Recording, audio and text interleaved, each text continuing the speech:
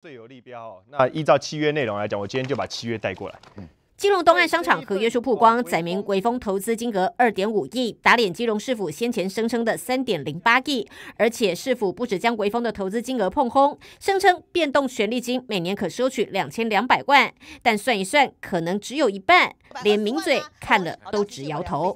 两千两百万的前提是你要做到一年十二亿的营业额，可是呢，微风在里面就已经直接坦诚了，他最多只能做到六点四亿，只有一半嘛，只有一半。那只能做一千零八十万啊，少的谁要补？少的是你谢国良要补吗？那为什么人家 Net 条件比较好的状况之下，你要你偏偏就是要给微风？有人估高，有人估低，重点是要看商场的种类跟实际的情况。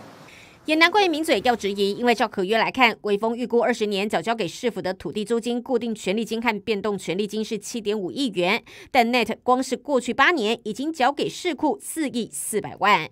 Net 说，他们投标的金额一年是准备要给市政府七千万哦，多到快两倍。预计要给七千，微风只给三千八。请问谢国良，你为什么放弃 Net 租给微风嘛？如果谢国良真的要自清，那没关系，我们议会帮你自清。我们就希望说议会做一个结论，把它送到。啊我们监察院去调查。外界疑问一箩筐也包括为何营运绩效报告书独缺一百一十二年难道不看大日续约真有不能说的秘密？市议员得不到合理答案前绝不会轻轻放下。民事新闻这么报道。有发言